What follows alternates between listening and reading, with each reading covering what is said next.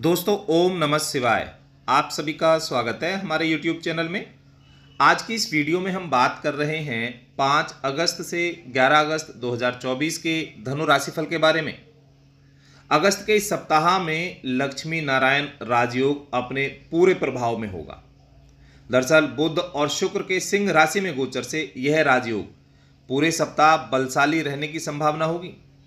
और ज्योतिष शास्त्र के अनुसार लक्ष्मी नारायण राजयोग धन संपत्ति में समृद्धि और सफलता दिलाने वाला बताया जाता है। इसी के साथ गुरु और चंद्रमा का चतुर्थ दशम योग भी बन रहा है। तो ग्रहों के ऐसे शुभ योग में अगस्त का यह सप्ताह धनु राशि के लोगों के लिए काफ़ी उत्तम फल देने वाला होगा। इस राशि के जातकों को आर्थिक लाभ और अपार खुशियाँ मिलने की संभावना रहेगी। तो दोस्तों, आगे बढ़ें। इससे पहले आपसे निवेदन है, यदि आप हमारे चैनल पर पहली बार आए हैं तो चैनल को सब्सक्राइब कर दें, बेल आइकन को प्रेस कर दें और जुड़ जाएँ हमारे चैनल के साथ। दोस्तों, यहाँ सूर्यदेव पूरे सप्ताह कर्क राशि में विराजमान होंगे, यानी आपके आठवें भाव में सक्रिय होंगे। और यहाँ से दूसरे भाव पर दृष्टि डालेंगे तो ऐसे में परिवार में एकजुटता रहेगी। आपकी वाणी कुछ प्रभावित हो सकती है तो ऐसे में अपनी वाणी पर संयम रखना होगा। धन का आवागमन होगा। कुछ आर्थिक क्षेत्र में बड़े बदलाव देखने को मिलेंगे, जो आपके लिए सकारात्मक परिणाम देने वाले होंगे। ग्रहों के सेनापति यानी मंगलदेव वृषभ राशि में विराजमान होंगे, आपके छठे घर में स्थित होंगे। तो ऐसे में आप अपने शत्रुओं पर हावी होंगे। कोई भी शत्रु, कोई भी विरोधी आपके सामने नहीं टिक पाएगा। कार्य का अतिरिक्त दबाव आपके ऊपर हो सकता है, जिससे कई बार आप मानसिक रूप से परेशान हो सकते हैं या थकान महसूस कर सकते हैं। यहाँ मंगल के साथ साथ गुरु भी आपके छठे भाव में युति कर रहे हैं, यानी मंगल का और गुरु का एक साथ होना। आपके ऊपर कार्य का अतिरिक्त बोझ डालेगा। कुछ अतिरिक्त जिम्मेदारियाँ आपको दी जाएँगी, जिन्हें आप समय पर पूरा करने में सक्षम होंगे। इससे आपका वेतन वृद्धि भी संभव है, आपका प्रमोशन भी हो सकता है। आपकी समाज में भी एक अच्छी पहचान बनेगी, समाज के लोग आपकी प्रशंसा करेंगे, यानी समाज में आपका कद बढ़ेगा। घर परिवार के लोग भी आपकी प्रशंसा करेंगे, क्योंकि घर की जो जिम्मेदारियाँ आपको दी जाएँगी, उन्हें आप समय पर पूरा करेंगे। इससे आपके परिवार का माहौल काफ़ी सकारात्मक होगा, एकजुट रहेंगे। आपस में एक दूसरे के प्रति प्रेम भाव भी बढ़ेगा। बुद्धि के कारक ग्रह बुद्ध देव पाँच अगस्त को सुबह नौ बजकर चवालीस मिनट पर सिंह राशि में वक्री होने जा रहे हैं। बुद्ध ग्रह सूर्य की बेहद निकटतम वाला ग्रह है। बुध ग्रह को मिथुन और कन्या राशि का स्वामी माना जाता है। व्यक्ति के जीवन में ज्ञान और बुद्धिमता को बुद्ध ग्रह ही दर्शाता है। जब कुंडली में बुद्ध नकारात्मक स्थिति में होता है तो वह व्यक्ति को तंत्रिका तंत्र, त्वचा संबंधित परेशानियाँ, लीवर से संबंधित परेशानियाँ दे सकता है। अगर बुद्ध मिथुन और कन्या राशि में मौजूद होता है तो जातक बुद्धिमान होता है। अच्छा लाभ देने वाला होता है, सफलता प्राप्त होती है। और अपने प्रतिस्पर्धियों को कड़ी प्रतिस्पर्धा देने में भी सक्षम होता है। धनुराशि के लोगों के लिए बुद्ध दूसरे और ग्यारहवें घर के स्वामी हैं। और वक्री गति में आपके नवम भाव यानी भाग्य भाव में सक्रिय रहेंगे।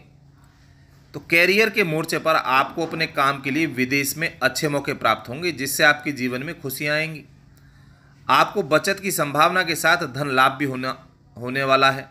साथ ही दौरान भाग्योदय की गुंजाइश भी की जा सकती है। आपको अपनी ज़रूरत को पूरा करने के लिए नए व्यवसायिक अवसरों के साथ अच्छी किस्मत का साथ मिलेगा।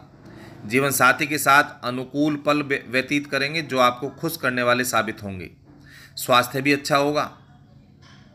लेकिन इस दौरान आपके खर्चे की अधिकता हो सकती है जो आपकी चिंता का कारण बनेगी। तो ऐसे में गुरु के लिए ओम गुरुवे नमः मंत्र का जाप करेंगे तो आपकी परेशानियाँ कम होंगी और अच्छा परिणाम प्राप्त होगा।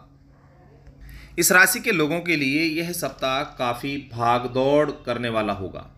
सुखद पहलू यह होगा कि आपके द्वारा किए गए परिश्रम और प्रयास आपको अच्छा परिणाम देने वाले होंगे, जिससे आपको अच्छे लाभ की प्राप्ति होगी। इस सप्ताह अपने समय और अपनी ऊर्जा का प्रबंधन करके चलते हैं तो आपको उम्मीद से कहीं ज़्यादा सफलता प्राप्त होगी। उम्मीद से ज़्यादा लाभ की प्राप्ति होगी। इस सप्ताह आपको कैरियर कारोबार में विशेष सफलता मिलने के योग बनेंगे। सप्ताह के पूर्वार्ध में आप अपने जीवन शैली में बड़ा बदलाव लाने का प्रयास करेंगे। इस दौरान आप नई योजनाओं पर कार्य करने की कोशिश कर सकते हैं। और इन योजनाओं पर कार्य करने से आपको आगे बढ़ने का मौका मिलेगा। जो आपकी किस्मत किस्मत में चार चाँद लगाने का कार्य करेंगे? यानी आप सफल होंगे। इस दौरान आपको भूमि, भवन और पैतृक संपत्ति का लाभ प्राप्त होगा। इस सप्ताह आप त्वरित लाभ के लिए शॉर्टकट लेने से बचें। अन्यथा गलती होने पर बना बनाया काम भी बिगड़ सकता है, जो आपको नुकसान में भेज सकता है। राजनीति से जुड़े लोगों के लिए सप्ताह के उत्तरार्ध का समय अत्यंत शुभ साबित होगा। आप अपने विरोधियों को मात देते हुए सत्ता के शिखर पर आगे बढ़ते हुए नज़र आएँगे। इस दौरान आपको उच्च पद की प्राप्ति हो सकती है। इस दौरान कारोबार के सिलसिले में लंबी या छोटी यात्रा पर निकलना पड़ सकता है।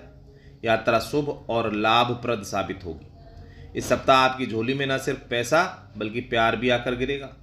यदि आप किसी के सामने प्रेम का इजहार करने की सोच रहे थे तो इस सप्ताह ऐसा करने की आपकी यह मनोकामना पूरी हो सकती है। वहीं पूर्व में चले आ रहे प्रेम संबंधों में उपजी गलत फहमियाँ दूर होंगी, नज़दीकियाँ बढ़ेंगी। पारिवारिक जिम्मेदारियों को बहुत अच्छी तरह से निभाते हुए नज़र आएँगे। यानी सप्ताह सकारात्मक बदलाव कार्य क्षेत्र और सामाजिक जीवन में आपको दूसरों के साथ खुलकर बातचीत करने में मदद मिलेगी, जिसके कारण आपके साहस और आत्मविश्वास में वृद्धि होगी। साथ ही आप हर निर्णय को लेने में खुद को पूरी तरह सक्षम पाएँगे।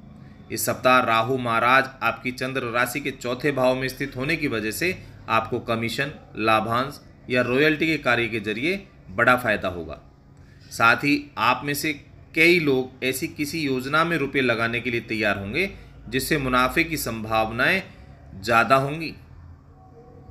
अपने मित्रों या संबंधियों को अपना आर्थिक कामकाज, रुपये पैसे से जुड़ी हर बात साझा करने से बचना होगा।